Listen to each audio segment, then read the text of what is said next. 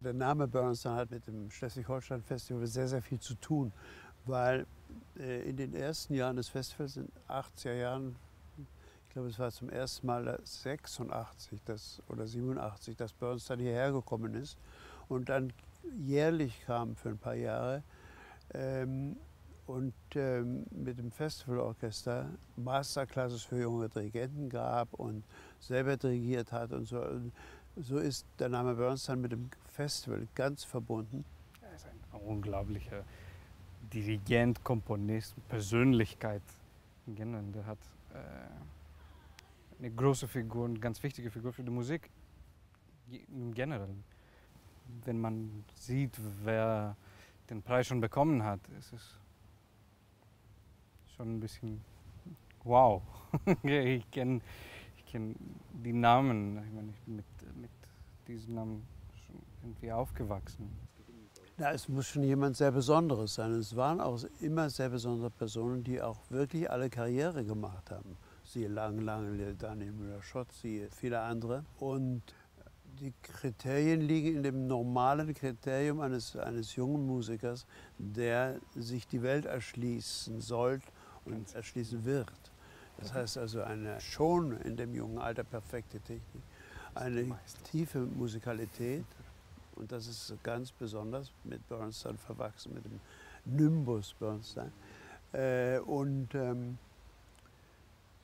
ein Charisma, was auch mit dem Namen Bernstein und mit der Figur Bernstein im, in der musikalischen Welt zu tun hat.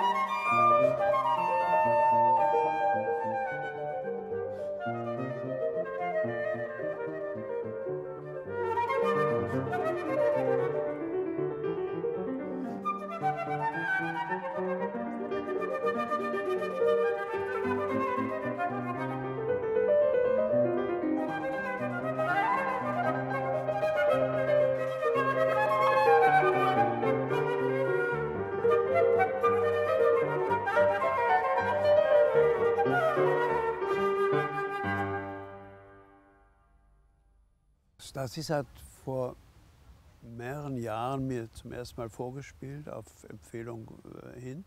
Und ich habe ihn mir angehört und war schon äh, direkt von ihm angetan, von seinem Charisma, von seinem, von seiner Projektion und von seinem Spiel. Und dann habe ich ihn öfter ähm, angefragt, um, um, um mir vorzuspielen, um zu sehen, wie er weitergekommen ist. Und er ging mit Riesenschritten weiter, kam mit Riesenschritten weiter. Und äh, das ist auch ein Kriterium, ob jemand, wie jemand sich entwickelt, ob er sich schnell entwickelt, ob er sich auf eigene Initiative hin und aus eigener Fantasie und aus eigenem äh, Tatendrang und äh, äh, dem eigenen Drang, sich auszudrücken, ob der da wirklich ein, etwas Besonderes ist. Das, was das ist.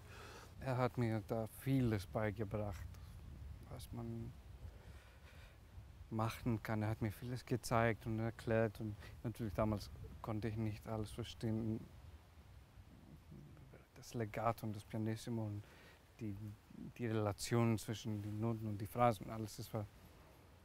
Aber mit der Zeit habe ich auch äh, ja, habe ich gearbeitet und ich glaube, so langsam kommt es näher.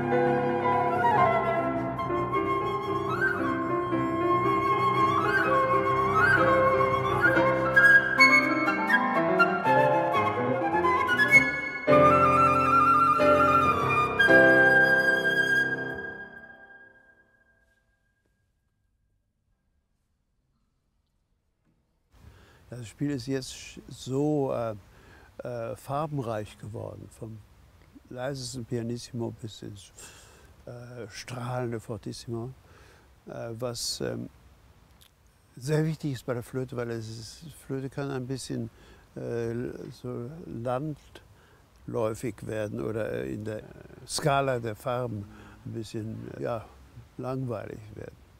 Aber bei ihm überhaupt nicht.